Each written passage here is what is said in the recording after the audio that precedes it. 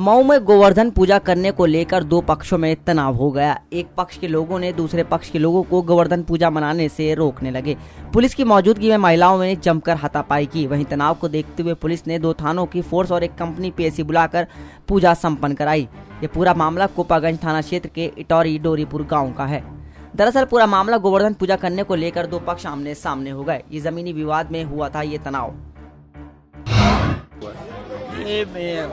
गाँव वाले ज़बरदस्ती जो दबंग किस्म के लोग हैं वो प्रशासन को यहाँ ज़बरदस्ती बुलाते हैं और मेरी घूमधरी में आ, क्या नाम की ज़बरदस्ती ये घोषणा कूटते जबकि पिछले साल एस सी साहब और एस डी एम साहब मौके पर आए और कहे कि वकील साहब हमको दस कड़ी ज़मीन दे दीजिए दस की बजाय दस का पंद्रह हम आपको कहीं दे दूँगा और मौके पर दूँगा। इसके बावजूद भी एक साल पूरा बीत गया अब तक कोई कार्यवाही नहीं की गई और न ही हमको भूमि ही दी गई। इसके बावजूद भी पुनः इस बार मौके पर आकर प्रशासन आया जिसके तहत ये पूजा ये विवाद कब से चल रहा है? ये विवाद एन दो हज़ार नौ दस से चल रहा है। चल रहा है। तो मतलब इतने फोर्स की ज़रूरत पड़ जाती है क्या यहाँ पे? नहीं फोर्स की ज़रूरत नहीं पड़ती प्रशासन अपनी सेफ्टी के लिए लेकर आते हैं कि कोई बवाल ना हो। इसके लिए प्रशासन तो आप संतुष्ट हैं?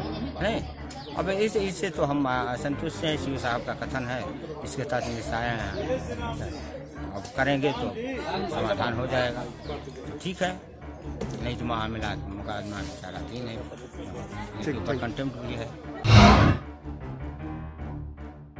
वहीं इस मामले में पुलिस ने बताया कि गोवर्धन पूजा 2001 से मनाया जाता है और ये विवादित है। इसी क्रम में आज पूजा को मनाया जा रहा था जिसके बाद दो पक्षों में तनाव हो गया जिसको एसडीएम महोदय को सूचित किया गया जो मामले को हल करने की कोशिश कर रहे हैं। लोग मौके पे मौजूद हैं क्या हुआ है? देखिए एक पूजा होती है जिसको बोलते हैं गोवर्धन गोवर्धन पूजा में और ये जैसा कि इनके घर से लोगों ने बताया कि वर्ष 2009 से ये मनाया जा रहा है। यद्यपि ये इसको विवादित भी मानते हैं और मनाया भी जा रहा है।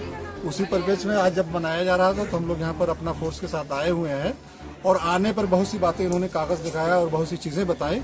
उसको संज्ञान में लेते हुए एसडीएम महोदय से बात होगी और इसका कोई अस्थायी निवारण किया जाएगा ताकि ये विवाद जो है सदा के लिए शांत हो जाए। सर मौके पर कुछ आ, मतलब लोगों में विवाद भी हुआ है? नहीं लोगों में इस बात को लेकर के यह है कि बार बार जो है हम लोग मना करते हैं। इसके बावजूद भी ये मनाया जाता है।